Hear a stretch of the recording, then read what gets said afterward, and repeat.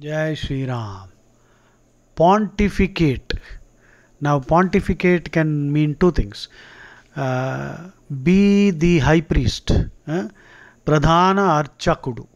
If you are functioning as a Pradhana Archaka, then you are pontificating in that function.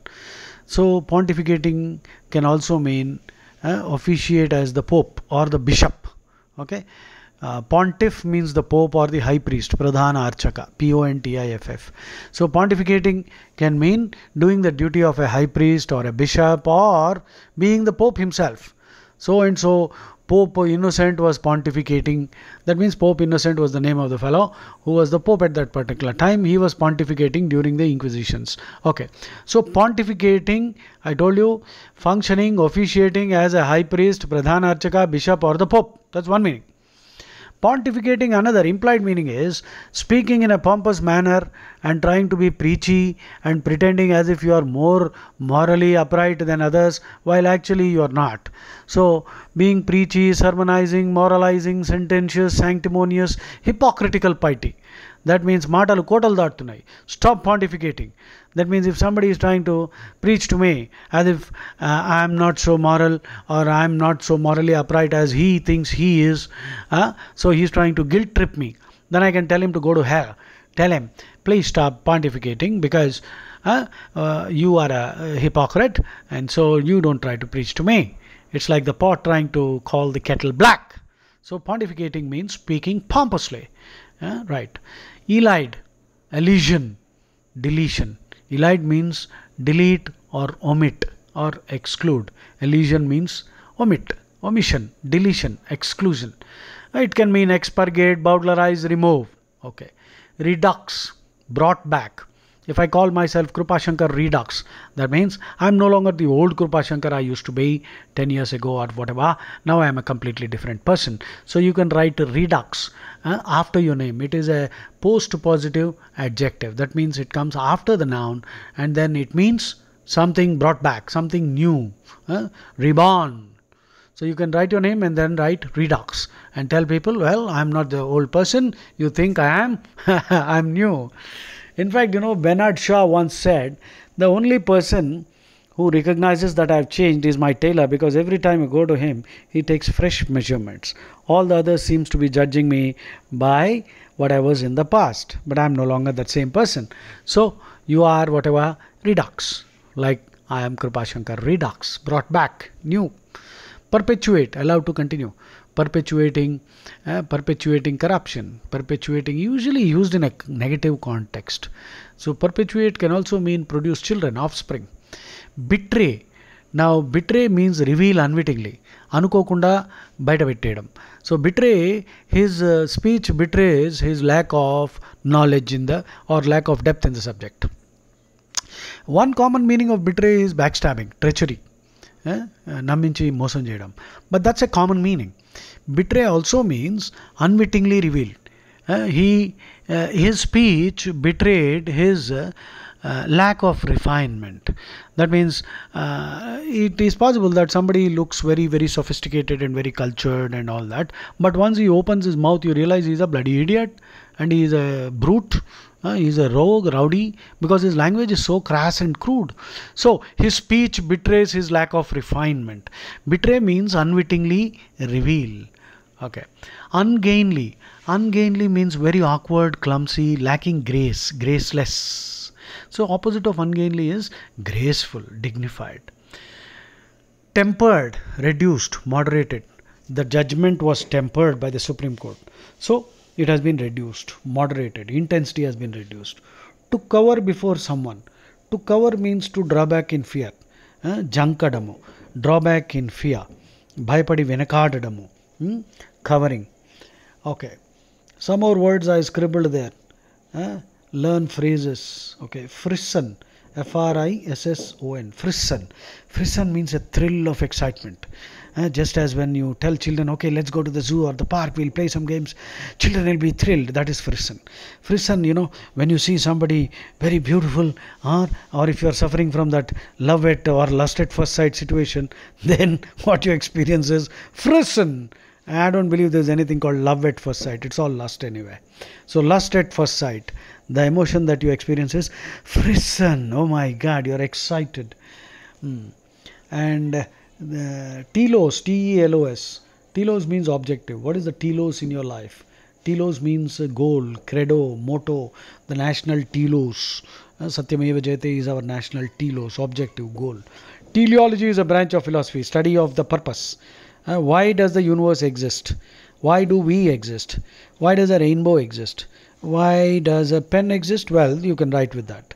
So, teleology is the study of what is the purpose behind anything. Why does anything exist? So, teleology. The de facto credo. De facto means actual. The de facto credo of America is e pluribus unum, which means one among many. We define the same thing as unity in diversity but they define the same concept as one among many uh, because they are laying emphasis on being that one not uh, trying to imitate or copy anybody else retain your individuality so in fact american culture they proudly say our culture is uh, likened to a salad bowl the salad bowl concept of the culture which means on a salad plate you will find onion tomato carrot or any other sol- uh, vegetables all of them nicely arranged all of them retain their individuality Eh, the onion remains an onion, it doesn't become a tomato. Uh, the tomato doesn't become a carrot. so every piece, every vegetable retains its individuality on the plate, but they're all on one plate. So Americans uh, would like to, you know, take pride in the fact that they are that kind of a country. So salad bowl concept of culture which means they emphasize individuality. They don't want you to change. There's no pressure for you to change. Be yourself be good be a nice citizen be a law abiding citizen and you will have every opportunity to become prosperous. That's the concept of the american dream because american dream basically means establishing a meritocratic society. So if you are talented you will have enough opportunity to become prosperous. So that is the salad bowl. Whereas indian concept we can call it the crucible a crucible, as you know, is a metal bowl in an alloy, uh, made of an alloy, found in a metal, me, you know, metal working uh, in a foundry where metals are melted at uh, 2000 degrees centigrade or more and heavy very strong acids are used and new alloys are created and all these are mixed in a bowl called the crucible. But the crucible does not react because it is made of a particular alloy which will not react to any strong acid uh, nor we, it can also tolerate very high temperatures also. So crucible but then what does the crucible do? It will create a new product. So india is a crucible. Once you come to india uh, Hindus and Christians and Muslims of India are completely different from the Christians and Muslims in other parts of the world because India does something to them. India does something to you. It Hinduizes you. Uh, uh, so India is a crucible. It brings about complete transformation. It is almost like you know the difference between the salad bowl and the crucible is all the onion, tomato, all of them get juiced up or at least the tomato acquires a lot of qualities of the onion because uh, uh, so that is what India is. So India is a crucible. I call my classroom also crucible. Now crucible has another implied meaning. Crucible literally means that that bowl, that vessel in a, a foundry, which I just discussed. Crucible also means any place where powerful intellectual influences completely transform the individual. So my classroom my classroom wherever i am uh, whatever i teach on the uh, door of the classroom i put i put this uh, laminate on which i write crucible. This is your crucible.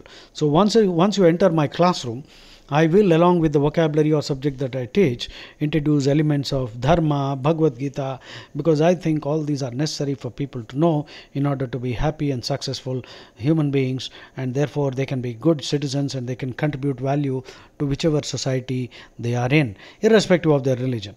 Right? So, well, the de facto credo, credo means motto, de facto means uh, actual. Hmm? The actual. The de facto credo of America is E pluribus unum. E P L U R I B U S U N U M. These are three different uh, words. You know, there is a separation. E uh, separate P L U R I B U S pluribus unum. You will find this written on every dollar and every coin also. Green or greenback means dollar. Specie means a coin. On any American dollar, you will find on one side, on the reverse, you will find E pluribus unum. That is the de facto credo and on the obverse OBVERSC which means the heads the upside on that you will find the de jure motto De jure means the official. The de jure motto of America is in God we trust. In God we trust. You will find this in God we trust on the heads, that is the obverse of every dollar uh, currency note or even the coin. And on the reverse or the converse or the backside, you will find the de facto credo, which is e pluribus unum. Okay, collocations is the other word I have written here. Collocation. That's a very important concept in English. What goes with what? What adjective befits what noun? Heavy rain, heavy wind. Heavy wind? No, heavy wind is not allowed. Strong wind? Yes. Strong rain? No, I don't think strong rain is right. So these are collocations. So I was sitting at my table, not near my table. Uh, so what are the prepositions? What is the adverb that uh, fits? You cannot take liberties with any and every adjective, right? So you have to know the collocations. Of course, if you are a master of the language, if you are a wordsmith, uh, yeah, like uh, our prime minister is very good at that. He, he can take liberties. Uh, if you are really a great scholar of linguistics and language, then you can take certain liberties and probably create a few new collocations. Otherwise, ordinary people like us, we have to follow the rules and be careful about the collocations. And why is this important for you as a GRE student? Because in the GRE exam, eh, there will be a lot of fill in the blanks with words suggested as options, but they will not fit because the collocations are wrong. So now you see how difficult GRE can get sometimes? Yeah. So there's a lot of serious work here. So please don't take the GRE as if it is some ordinary, just another test. No, my dear friends. I have a great uh, liking for the GRE, though I have no love lost for English. Uh, English, I think, is a dumb language. Nevertheless, English is a powerful language. And you see, uh, we all of us must acquire a good command over English in order to be respected as intelligent people. Because even if you are intelligent and if you cannot speak good English, you are going to form a bad opinion. I mean, like in the sense you are not going to. People are going to think very poorly of you because the optics are not going to be good in your favor. Optics means public perception. So if you want to improve your optics, make sure that you master English. Jai Shri Ram.